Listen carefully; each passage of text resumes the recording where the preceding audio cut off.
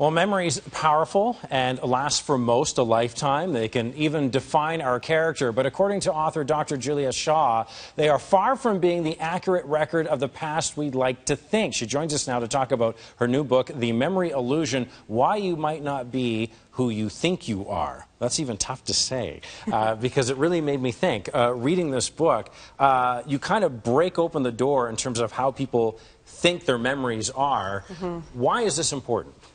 It's important to understand, well, I mean, something you use every day, right? Your memory is something you rely on as you're walking out the house. You're, you're saying, this is what I need to do today. Then later on, you're telling a story about your childhood. Then you're going and talking about a, a party you went to last week. I mean, the, it ranges in terms of how far back we go, but every single day you're relying on your brain to give you an accurate representation of the past.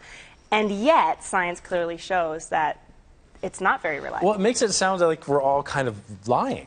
Well, we're not lying, so it's not intentional. no, not intentional, yeah, it's not intentional. But, but, it's not true necessarily what we think happened. Well, it, it challenges our notion of what, it, what truth means as well, I think. So, I mean, I don't like the idea of a single reality. I, I think that to be is to be perceived, and the only thing you can, can be certain of is that this is your version of the truth essentially. Uh, and so our memories and research on uh, false memories would show that we routinely believe that we did things that never happened.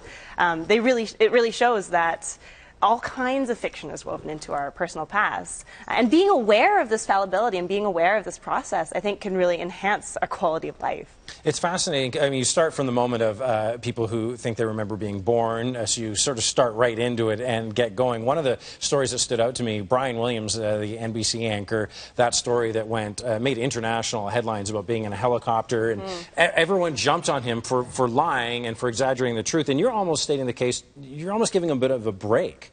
Well, I'm saying that we don't know. You don't know. So, and this is something that I that I think this research really highlights is that you should be be kind when people say things that aren't true, and don't just jump to the conclusion that they must be lying. And just because it's self-aggrandizing, just because it makes you look good, doesn't uh, that doesn't mean either that you're necessarily lying. Um, the, the problem is that false memories and lies look look the same to the observer. So the why? only person who why knows does that happen? Is the person who's telling it. Why does it happen? Because our brains are creative and flexible, and memories are associations in the brain, and the network that is a memory.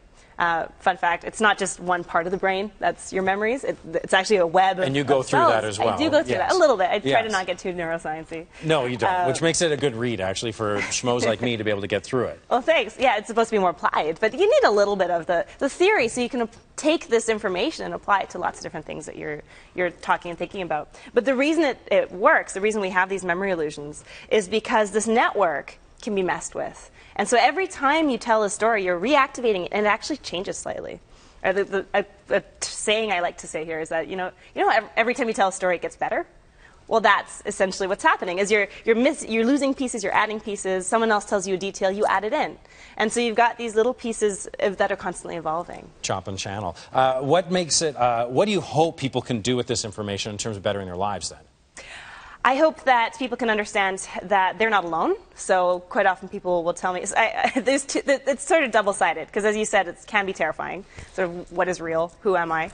Um, which sort of can induce an existential crisis. But I'm okay. I think it's good to ask You're okay questions. people go through that. Yeah. I think it's important. Uh, but on the other hand, people go, besides the most thing I find most disturbing about your book, they go, I was hugely comforted. It's not just me because I thought I was losing my memory. I thought it was just me who couldn't remember names or misremembered stuff.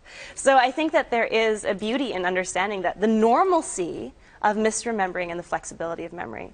And without this flexibility, we wouldn't be human. We couldn't problem solve. We couldn't be creative. We, you need to be able to flexibly connect things in the brain. And that's, that's essentially what the book shows you. Very cool. A, a great read. Really appreciate your time. Thanks so much. And uh, you can catch Dr. Julia Shaw at a speaking event tonight at 7 o'clock at the Calgary Public Library at the John Dutton Theatre.